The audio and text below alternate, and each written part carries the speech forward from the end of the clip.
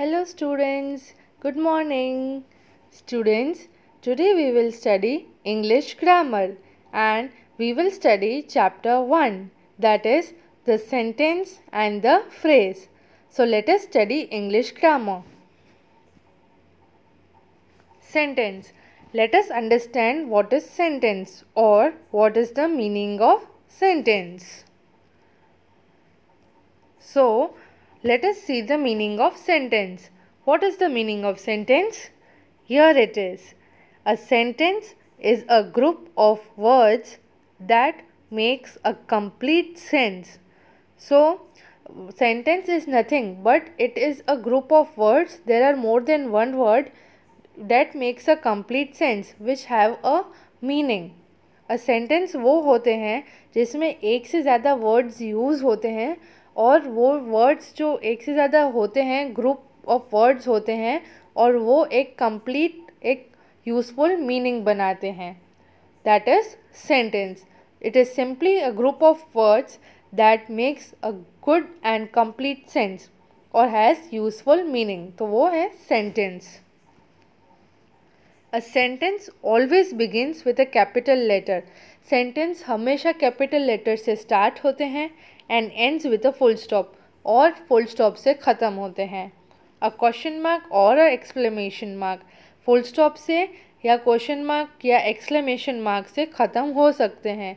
So sentence always start with a capital letter sentence हमेशा capital letter से start होते हैं और ख़त्म होते हैं फुल स्टॉप से या क्वेश्चन मार्क या एक्सक्लेमेशन मार्क सो ये है सेंटेंस सेंटेंस मतलब एक वर्ड्स का ग्रुप होना, एक सिंगल वर्ड नहीं होना।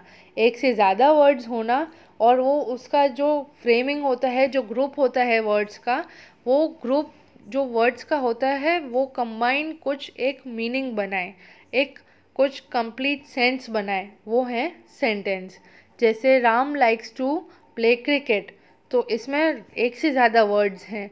तो ये पूरा जो ग्रुप है कंबाइन होकर एक साथ आया Ram likes to play cricket तो इसमें पाँच वर्ड्स हुए। तो एक पूरा एक कंप्लीट सेंस हुआ। क्या हुआ? इसे हम क्या इंटरप्रेट कर सकते हैं कि राम को क्रिकेट खेलना पसंद है? तो ये है सेंटेंस जिसमें एक से ज़्यादा वर्ड्स होते हैं और कोई कंप्लीट मीनिंग बनाते हैं। कोई सेंस कंप्लीट सेंस बनाते हैं।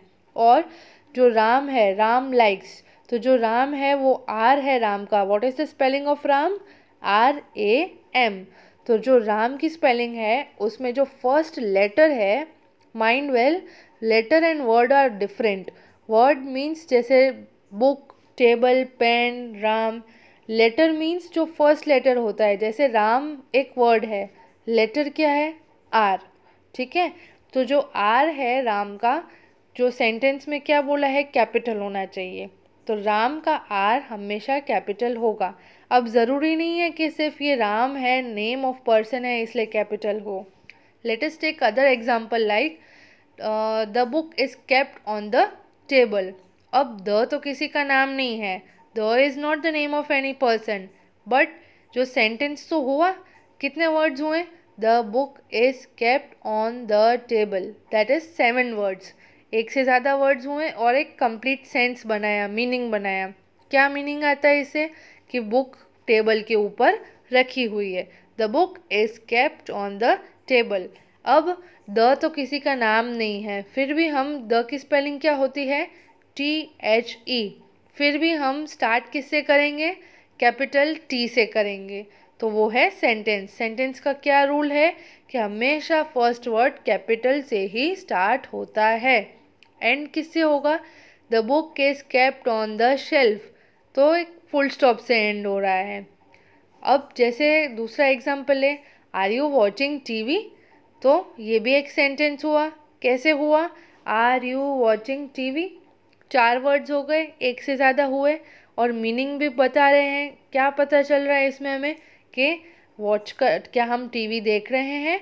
और तीसरी बात यह है कि आर जो है, उसमें क्या स्पेलिंग है? ए आर ई तो ए हुआ कैपिटल। ए कैपिटल लिखेंगे हम। और एंड किससे हुआ इस बार? आर यू वॉचिंग टीवी हम क्या कर रहे हैं? क्वेश्चन पूछ रहे हैं। इसलिए ये सेंटेंस किससे एंड हुआ? Right right. ये सेंटेंस क्वेश्चन मार्क से एंड हुआ। Right right? और स्टार्ट हुआ कैपिटल लेटर से। सो so, ये है sentence now let us see some more examples of sentences like I love my parents इसमें कितने वर्ड्स हैं? राइट फोर वर्ड्स हैं. I love my parents four words हो गए. और हम स्टार्ट किससे कर रहे हैं? आई से. आई इज़ कैपिटल और एंड किससे कर रहे हैं? फुल स्टॉप से. Right right? सो so, ये है सेंटेंस दूसरा एग्ज़ाम्पल देखते हैं. Rohan likes to play cricket so year how many words are there counted one two three four five there are five words in this sentence जैसे as I said कि sentence consist of more than one word it is a group of word तो more than one है five words हैं. और क्या है sentence में क्या होता है?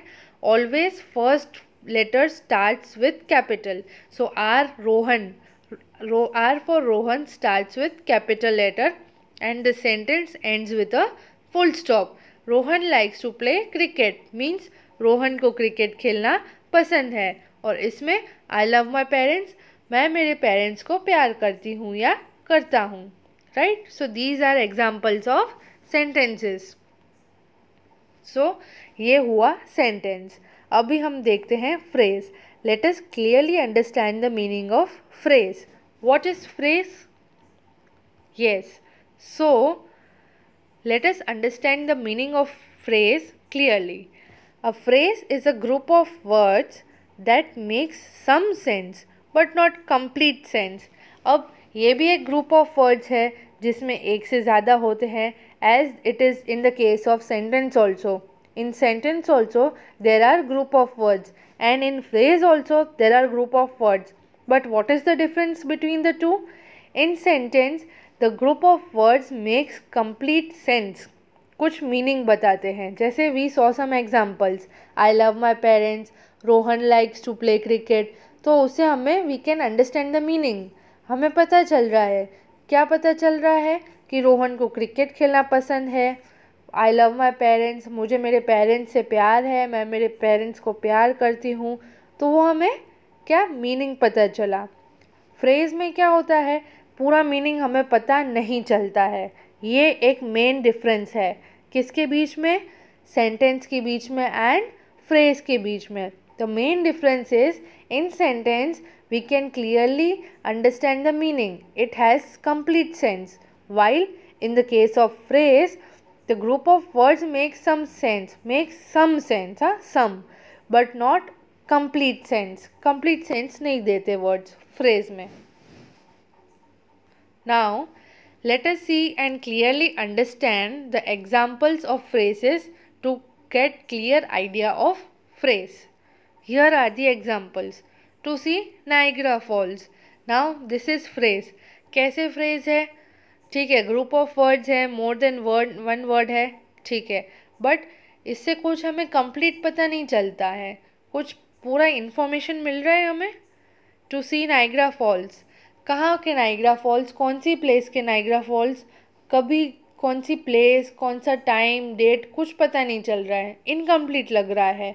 तो ये हुआ फ्रेज जिससे एक पूरा कंप्लीट सेंस नहीं बनता। हमें कुछ कंप्लीट मीनिंग पता नहीं चलता। थोड़ा ही पता चलता है।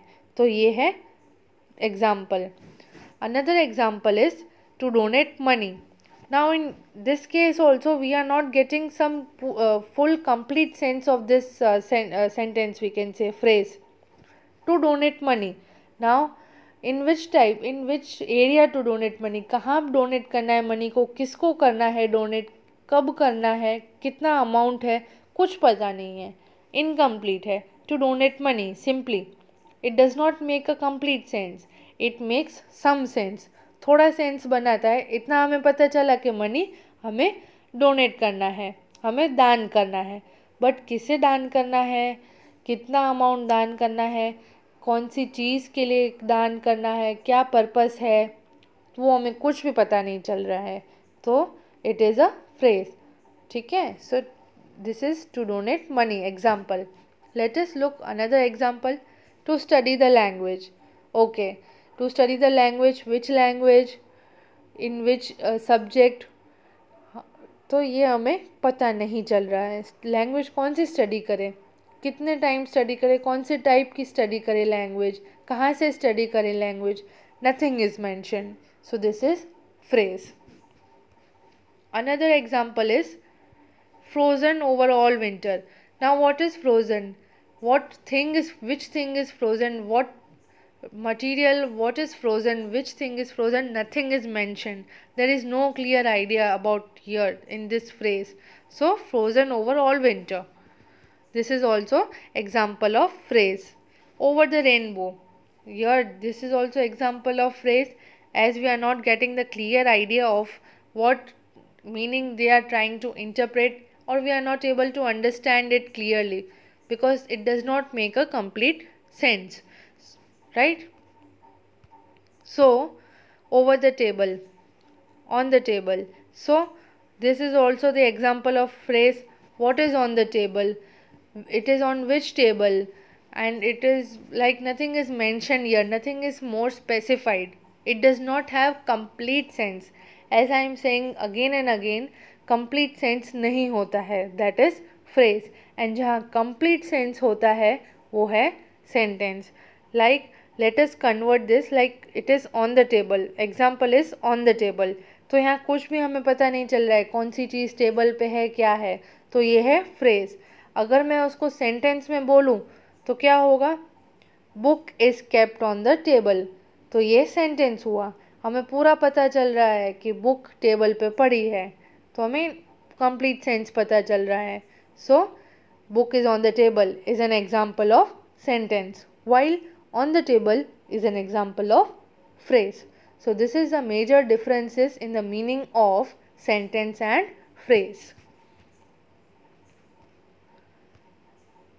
Now let us solve the exercise of this. Question 1. Given below are some groups of words. Write against each group whether it is a sentence or phrase. Now there are some words will be given to you you have to identify that whether it is a sentence or it is a phrase. Let us start. So, sentence 1. We cannot say, we are not sure about sentence or phrase. So, these are group of words. Group number 1. Mona sat quietly in her room. So, identify this. What do you think it is? Is it a sentence or is it a phrase? Yes, you are right. It is a sentence. As we can get the clear sense and idea कि Mona sat quietly in a room. Mona अपने room में चुपचाप बैठ गई तो ये हमें सब पता चल रहा है सब मीनिंग हमें समझ में आ रहा है everything is clear so this is sentence look on, on another group of words in the bus now what is it is it a sentence or it is a phrase Yes, you are right. It is a phrase because it does not make complete sense. In the bus क्या कौन सी बस कहाँ बस कुछ पता नहीं चल रहा हमें। कुछ भी क्लियर आइडिया हमें समझ नहीं आ रहा है। तो this is phrase third very quickly now what is this is it a sentence और it is a phrase yes you are right it is again a phrase बहुत जल्दी, क्या जल्दी? कुछ हमें पता नहीं चल रहा है, कुछ इन्फॉर्मेशन नहीं दी गई है। That is why it is a phrase fourth the mouse disappeared very quickly अभी माउस बहुत जल्दी गायब हो गया। तो what is this yes well good it is a sentence हमें एक क्लियर आइडिया पता चल रहा है इससे कि माउस जल्दी से ही गायब हो गया।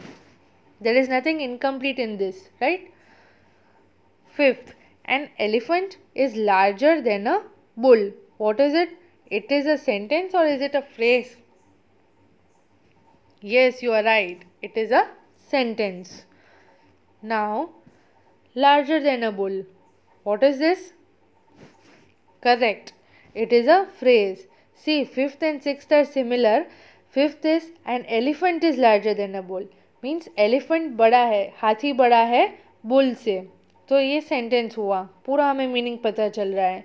In the case of six one larger than a bull क्या लार्जर देन अ बुल कुछ मेंशन नहीं है। ऊपर मेंशन है एलिफेंट है।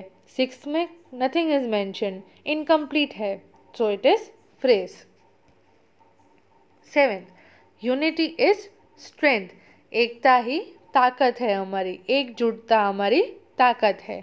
तो what is this it is a sentence last one here and there now tell me what is it yes right it is a phrase here and there nothing meaning is conveyed nothing is clear it is incomplete right it does not make a complete sense so it is a phrase.